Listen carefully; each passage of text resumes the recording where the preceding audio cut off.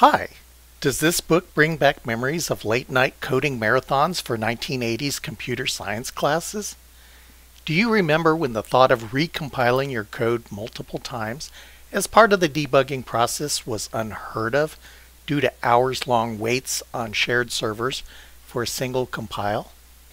Do you remember when compiling programs in seconds was crazy talk? Well, this video is about an amazing compiler that could be purchased by the average person. Borland's Turbo Pascal.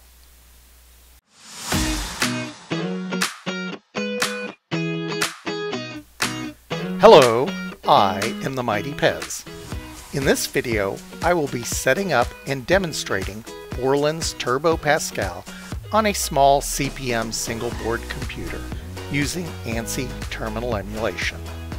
So please, join me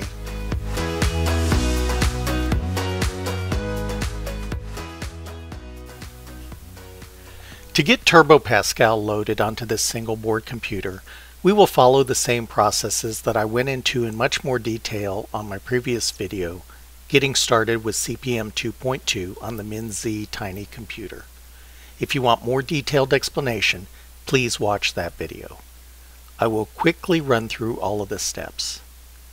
We'll be storing Turbo Pascal on the C drive, going through the different user areas, we can see that user 2 is the first empty area.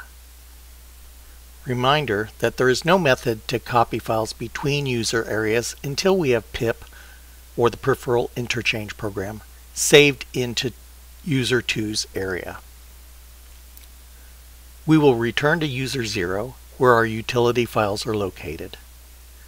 Run, then exit out of pip, which will leave pip in memory, return to the user 2 area. Then we save 58 blocks of memory to the file called pip.com, leaving the pip command available for use from user area 2.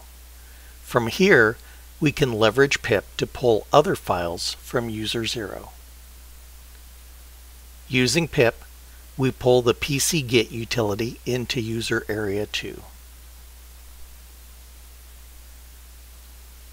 Now we have the ability to transfer files from my PC to the MinZ computer.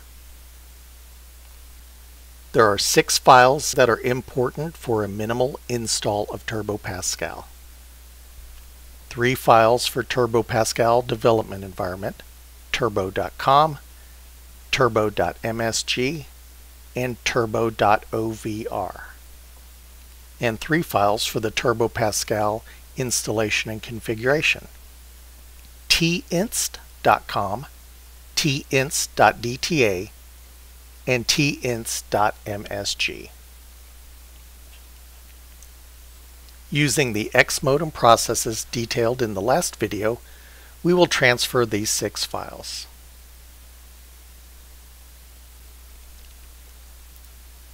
I have downloaded the two-disk set of Turbo Pascal 3.01 for CP/M 80. This is a very critical step is neither the x86 DOS version or CP/M 86 versions will work on the Z80 processor.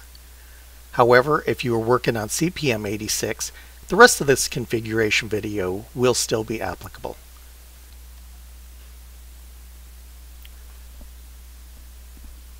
Now that Turbo Pascal is copied to our system, let's go ahead and run it.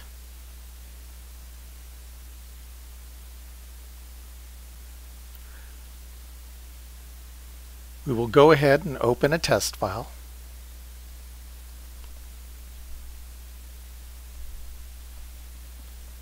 Right away we notice that the screen display is garbage and not exactly a usable full screen editor. We also notice that the cursor keys produce garbage. This is due to the fact that unlike a DOS PC, there is no standard CP/M display and we need to configure the terminal emulation support for Turbo Pascal. In our case, we will be configuring Turbo Pascal to support an ANSI standard terminal emulator.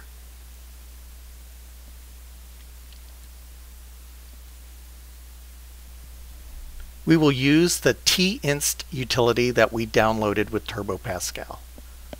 selecting S for screen installation. Then we select option 6 for the ANSI style terminals supported by our TeraTerm emulator.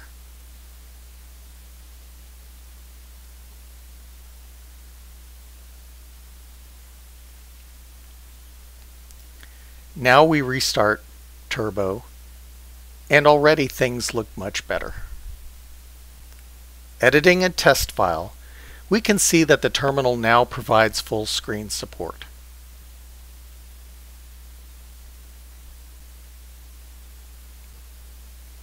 However, cursor key support is still not available.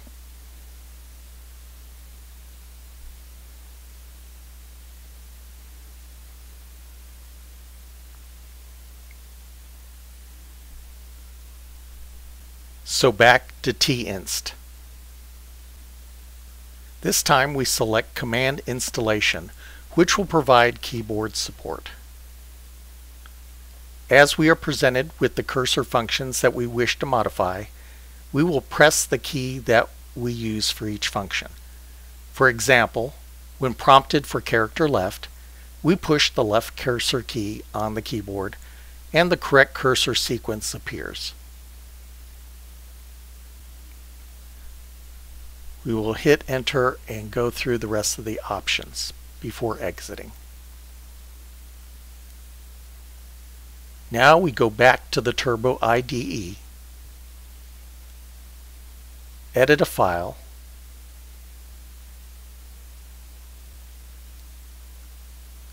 and let's test our cursor keys. Things look much better.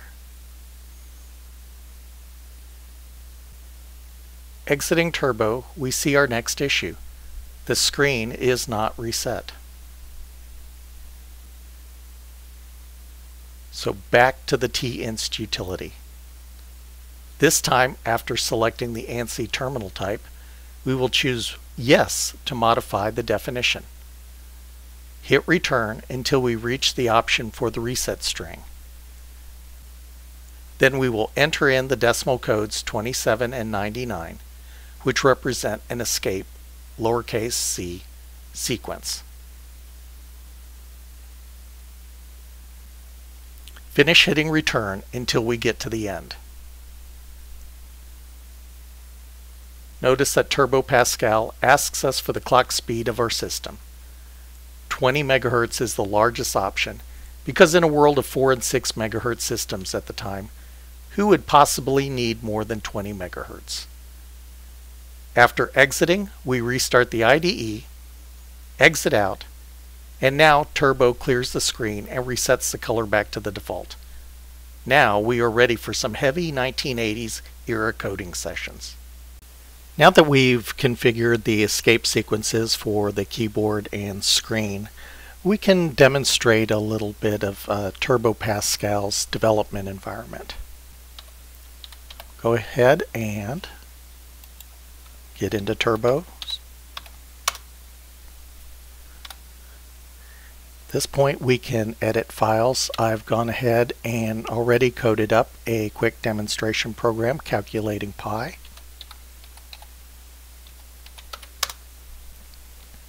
Again you can see that the keyboard escape sequences work, screen scrolling is working, um, everything looks good. So I'll go really quickly over this demonstration program. I'm this program will be uploaded to my GitHub page.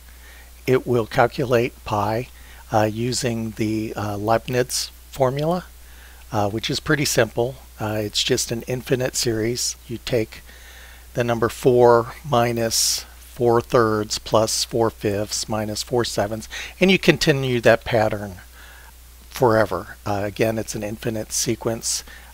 The denominator will just increase by 2 every sequence and continue on uh, the odd numbers. So down here is a simple program. It'll just set up a loop that will go 31,000 iterations. It will go and if it's a odd iteration, it will subtract 4 over the denominator. If it's an even iteration, it will add 4 over the denominator and just continue to do this until it hits the max iteration. Uh, limiting factors for this program include the fact that uh, Turbo Pascal was written in the 80s and uh, the integers are limited to uh, 32,767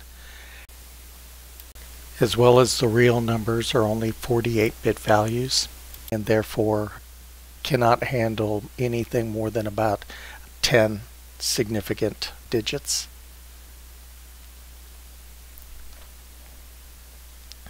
Go ahead and escape out of the editor. Uh, the control sequence is Control KD. We'll compile. By default, Turbo Pascal is compiling in to memory. Uh, if we want to compile to an object or to an executable file, we need to uh, set the compiler options. Uh, we can do that by O for options, and our options are memory, COM file, and a chain file. I set the compiler option to compile to a file. so we'll quit out of the compiler options back to the main menu. We'll compile to a file. You can see it compiled to mypi.com. So we'll quit out of Turbo Pascal. We see that we do have a mypi.com executable. We'll go ahead and execute that. And it will run the calculation for pi, estimating the value of pi. After 31 iterations in about 12 seconds, we have our approximation of pi correct to 9 significant digits.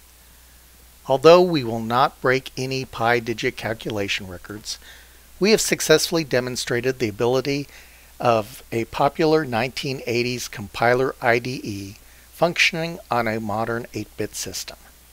And I now have Pascal, in addition to Microsoft Basic and Z80 Assembly, as an option for developing code for this system.